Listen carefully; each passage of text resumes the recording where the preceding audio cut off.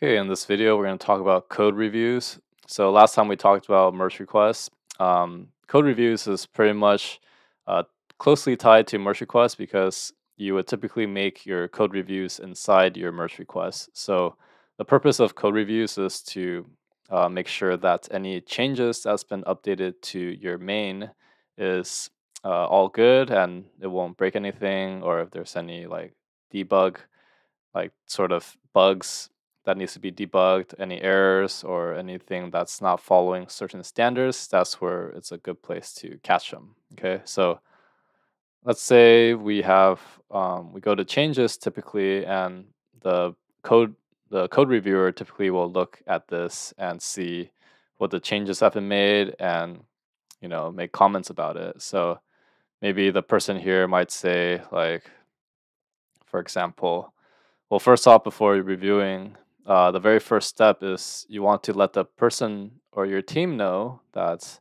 it's no longer in draft mode and it's ready. So you want to go to edit and remove the mark as draft. And notice it says here drafts cannot be merged until marked ready. Okay.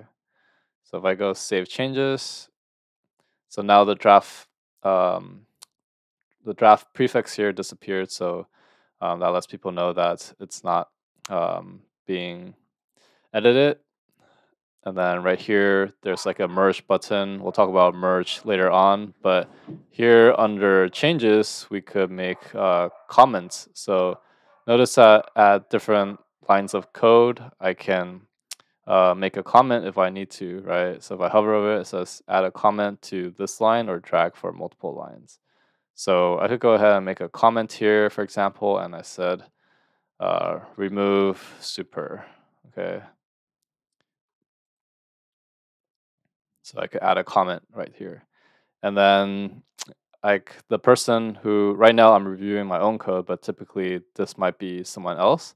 So once you do that, uh, you could go ahead and say make some comment to address the comment that someone else made, and then once you do that, you could resolve thread if um, the person fixed the issue. Okay, so that's how you can make uh, comments in your code reviews.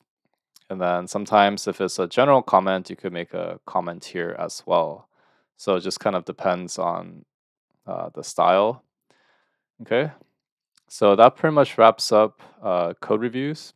And uh, if you found this video helpful, give a like and subscribe, and I'll see you in the next one.